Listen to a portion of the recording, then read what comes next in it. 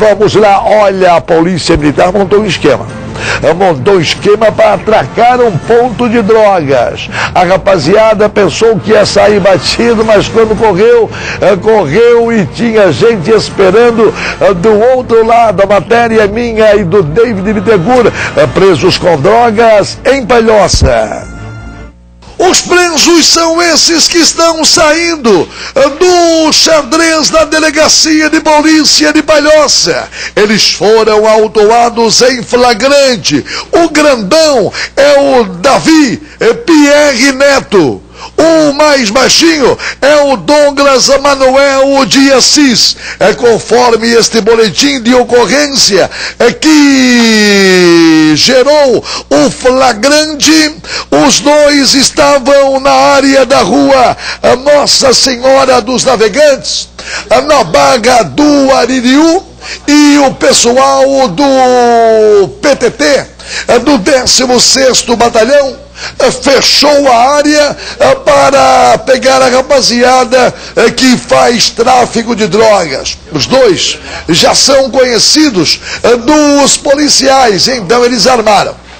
Dois foram por um lado e outra dupla veio por trás. Quando eles tentaram correr, não deu mais porque a segunda dupla chegou e fez o flagrante. Eles vieram aqui para a delegacia de polícia de Palhoça e foram autuados por tráfico. Um tinha cocaína e o outro tinha maconha.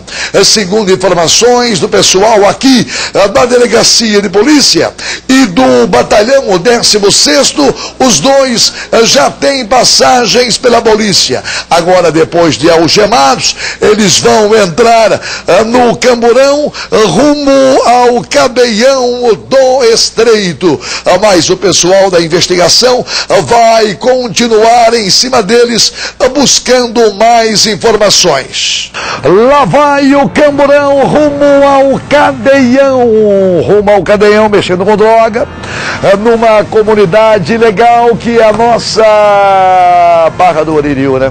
Localzinho bom, local bom, tem vários amigos que namoram e já haviam reclamado para mim que o tráfico está crescendo muito naquela região. Policiais militares também receberam informação, né? E começaram a cair em cima, já caíram dois. E tem mais gente na mira, hein? Tem mais gente na mira.